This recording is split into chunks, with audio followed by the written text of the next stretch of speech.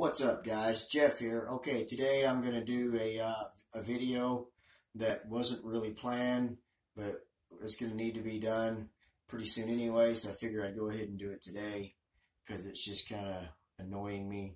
So what I'm going to do today is rehouse my green bottle blue, which if you've been following my videos on it, it just molted like two weeks ago, put on some pretty good size. It's about three inches now.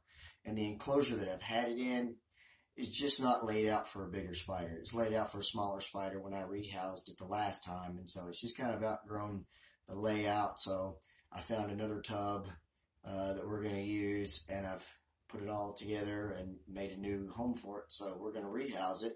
So I'm going to get set up. You guys stay right there and don't move a muscle. And we'll be back with a rehouse.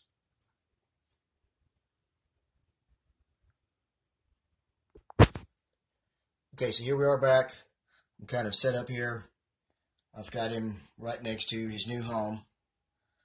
And this is going to be his new enclosure. I stressed and stressed and stressed for an hour and a half on how to lay this thing out before I finally started throwing things together. But as you can see, I tried to give him plenty of anchor points for webbing. And what I basically did back here is kind of use some spare pieces of cork bark to kind of fill up that hole back in so there's no corners or anything for it to hide in. You know, since they're not burrowers, you know, they won't burrow. But if I, I figured if I blocked off all that back there, there's no place for them to hide. And then, of course, he can web around all of these sticks and hide back in there. And then, of course, I got creative and used a little bit of moss to cover up my filler down in there. With that, without any more being said, is the new enclosure for my green bottle blue. And then here's the old one and he's just you can't you just can't really see it on camera here, but he's just really crammed in there most of the time. Just can't really fully stretch his legs, and I'm getting tired of seeing him like that. So we're going to try to move him today into what will ultimately be for him his final home. So I hope he enjoys it, and I hope you guys enjoy this video. Let's get around to the rehouse. Hold on, guys.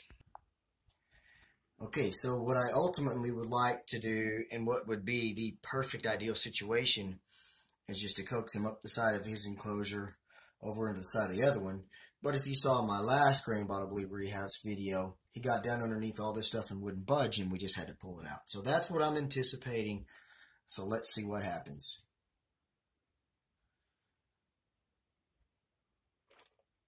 he always wants to go right down underneath all of that. And then, of course, now you see my dilemma with, you know, it's there's, it's hard to get in there and get to him. And when I do, he just kind of runs around underneath all this stuff. And I just don't like him being in there. He's too big for that anymore. And see, now I can't get to him. You can see he's hiding down in there. So I think what I'm going to have to do is pull this whole thing out of here but since he's bigger and a little more skittish than he was as a juvenile, and this whole big mess is a lot bigger, you know, I'm a little more nervous about it. So I've got my catch cup ready, just in case we need it, which I hope we don't. But I'm just going to kind of give these plants a little tug and, and see. All of this is stuck together in one big, big mass. I mean, look how strong that webbing is. It's all stuck together but it is coming out in one piece. And voila.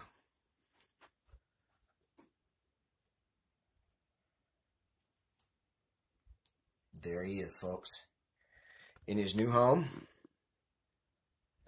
And what I'm going to do now is I'm going to scoot him out of the way and clean all those plants up and put them in the enclosure. And then I'll give you guys a final update. But I guess while I'm here talking, I can go ahead and get him out while you guys can see him.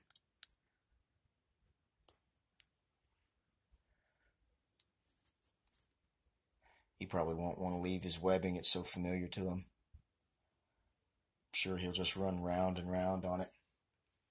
The webbing is so strong.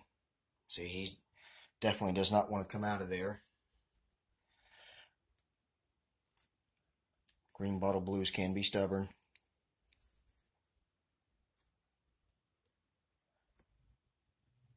He's really not wanting to let go of that.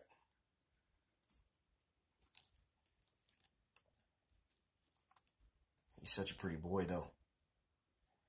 By the way, if you haven't watched my other videos, you don't know, he is a confirmed male. Unfortunately, which is why I say this is going to be his final home.